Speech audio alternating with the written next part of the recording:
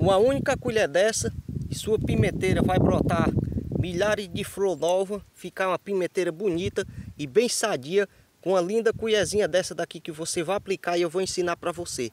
Você pode aplicar isso aqui na sua pé de pimenta, seu pimentão e vários tipos de planta.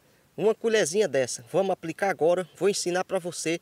Pega bem essa dica aí para você aplicar do jeito certo. Não é de qualquer jeito que você vai aplicar que isso aqui vai dar certo.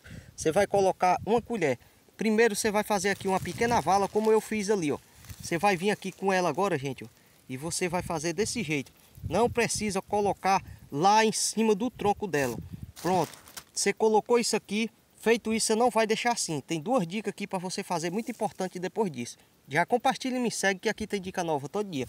Você vai agora cobrir, pode ser no vaso ou no chão assim como eu. Aí agora em sequência aqui você vai vir e regar. E o que é? Aqui é a ureia, gente. Você vai pegar assim uma colherzinha de chá rasa e colocar no tronquinho assim da sua pimenta. Se a sua pimenta for mais pequena, você bota meia. Se a sua pimenta for maior, você bota a colher bem cheia. Então gostou? Compartilhe e me segue aí para mais dicas. Você coloca uma vez a cada um mês, você coloca.